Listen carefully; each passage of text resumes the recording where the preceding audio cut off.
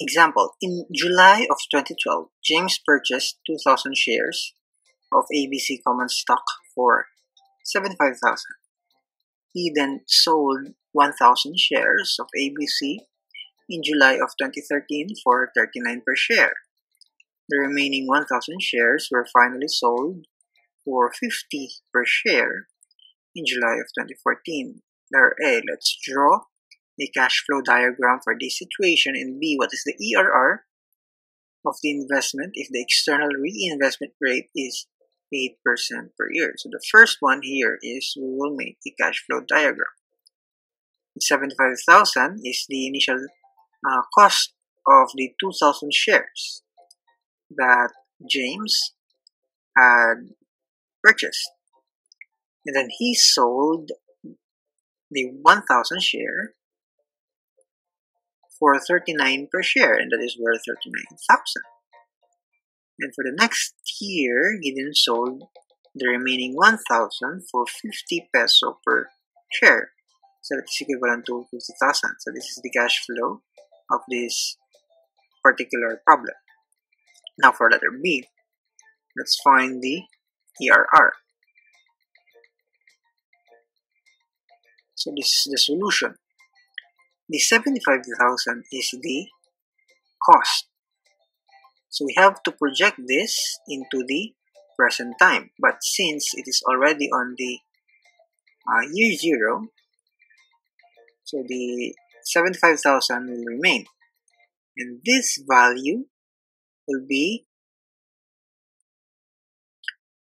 will be expressed as a future amount given the present value at i prime percent. This i prime is the ERR for certain number of terms, which is 2 in this problem. For the benefits, the 39,000 is expressed as a future amount for the external rate 8% per year and then added with the 50,000 the future value of the 50,000 for the same rate of 8% per year. So solving that this is 75,000 times 1 plus 0.08 raised to 0 that is still 75,000 and then multiply that with 1 plus i prime squared.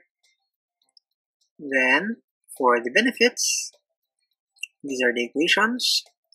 And we can solve now for the value of i prime?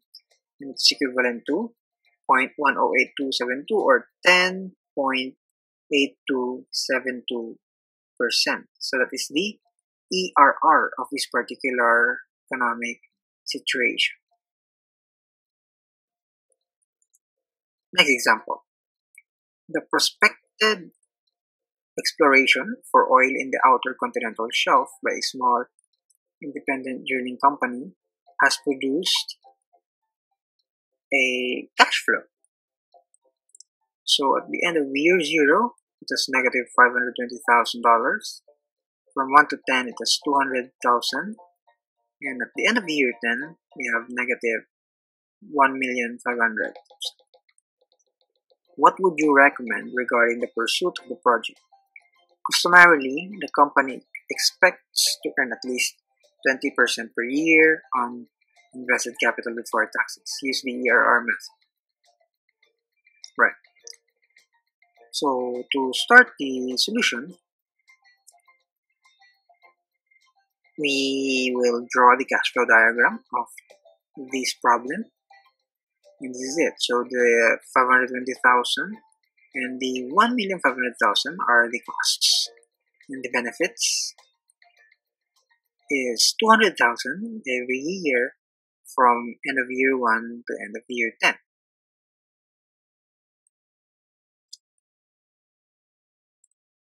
So this is the solution for that. The summation of present worth of the costs, which are 520,000 and 1,500,000 is this. So we have, we will be expressing these two costs as present worths. So 520,000 times 1 plus 0.2 raised to 0 since it is already on the present uh, present uh, year 0 on the on the cash flow diagram plus 1,500,000 times 1 plus 0.2 raised to 10. So we express this in at the present time and we add the 2. So the resulting, the summation of present worth of the cost is 762,258.374335.